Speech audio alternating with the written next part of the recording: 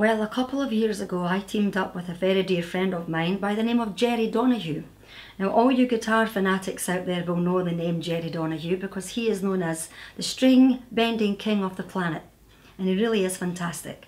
Anyway, Jerry and I uh, worked a whole year together on a brand new album, all self-penned songs, but you'll be hearing more of our adventures in a little interview that I did with him at the Caird Hall in Dundee. Meantime, here is one of our very first videos that we ever recorded together. It's The Streets of Loneliness.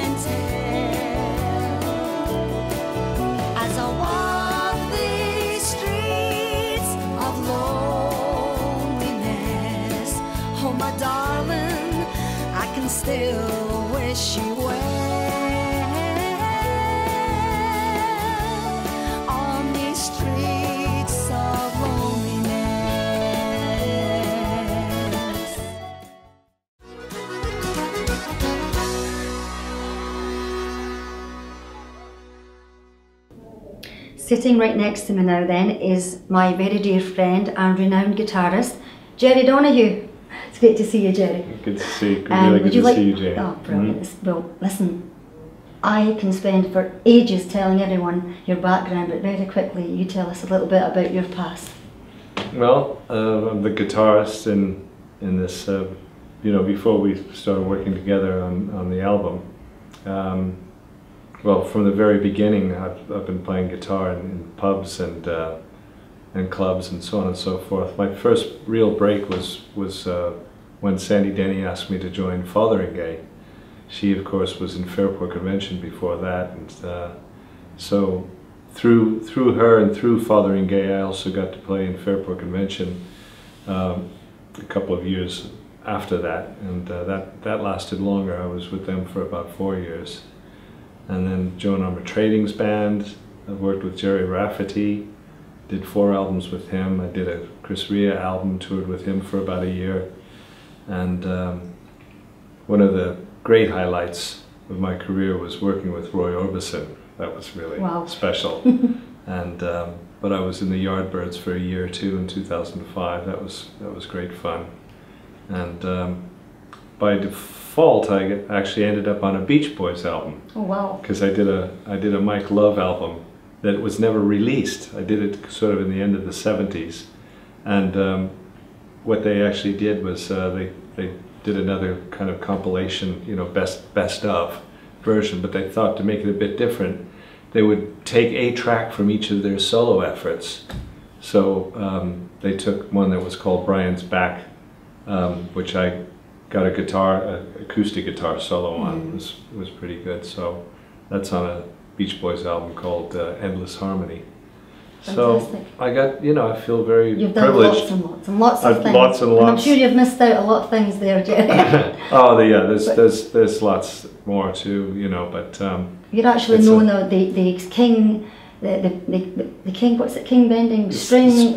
Danny? Gatton, who's like, uh, well, he's sadly no longer with us, but he was a brilliant, brilliant guitar player, Mm. and he uh, proclaimed me in a in a guitar guitar magazine, guitar um, guitar player magazine in the states, called me the um, the string bending, Bending king, of the, planet. That's, That's right. I think I've got that all mixed Which up. is like praise from Caesar. It's unbelievable, but. Uh, But it's very, very true, Jerry. Mm, and uh, as, the, as Jerry mentioned a second ago, we have recorded a new album, mhm.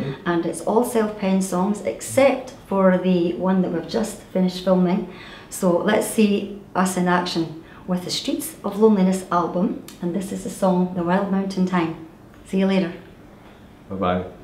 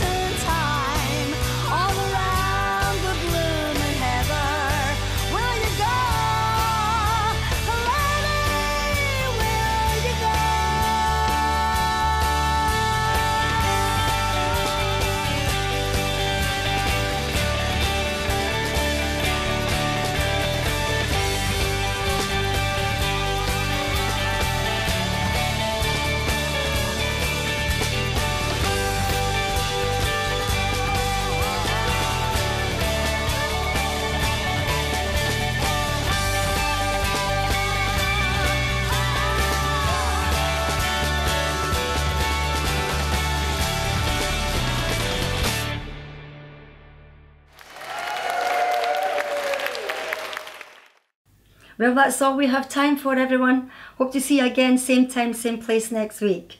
Um, I'm still keeping it country. From me, Janey Kirk. Bye bye.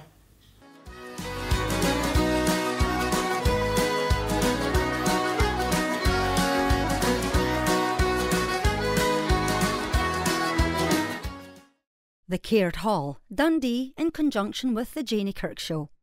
Dawson's Amusements, Shorehead Leven, proudly sponsor the Janey Kirk Show.